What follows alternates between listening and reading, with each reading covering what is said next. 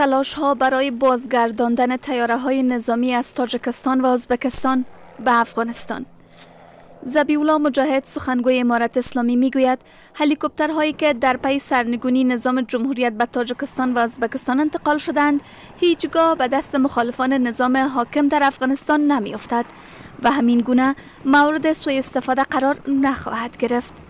سخنگوی امارت اسلامی می‌گوید برای چگونگی بازگرداندن هلیکوپترها به افغانستان با ازبکستان و تاجکستان گفتگو نیز صورت گرفته است. موضوع هلیکوپترها و تیاراتی که در بیرون از افغانستان هست و ملکیت مردم افغانستان است و انشالله حل شدنی است. ما خواسته خود را گفته ایم به او کشورها که در اوجا هلیکوپترهای ما هستند که حتما باید بس به افغان ها سپرده شود. ولی چیزی که سوء استفاده از او صورت بگیره یا به دشمن ها به دستش بفته انشالله امکان نداره.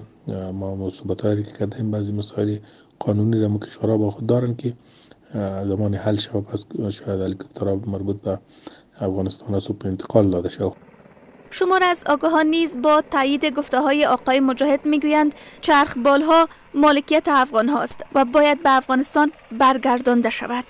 چې دا د ملت مال دی او ژر تر ژره باید دا موضوع حل کړي او دا باید افغانستان اسلامي امارت ته وسپاري چې دا د افغانستان د ملت مال دی او د بیت المال د بیت المال په توګه د ښه ساتنه وکړي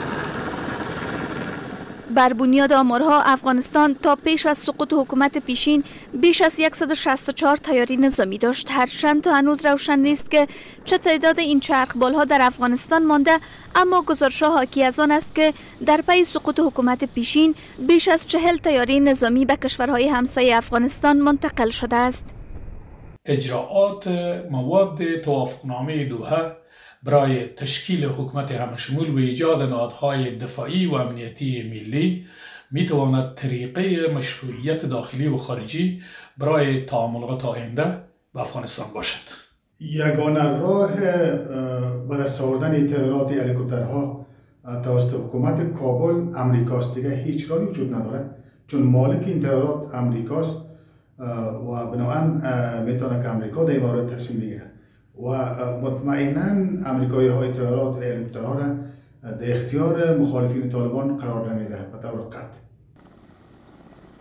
پیشتر قماندان مرکزی نیروهای آمریکایی یا سنتکام گفته است که تیاره های نظامی منتقل شده از افغانستان به تاجکستان را به دولت کنونی افغانستان نمی دهد و ایالات متحده با حکومت تاجکستان همکاری می کند تا بهترین راه استفاده و نگهداری مؤثر از این هلیکوپترها را پیدا کند.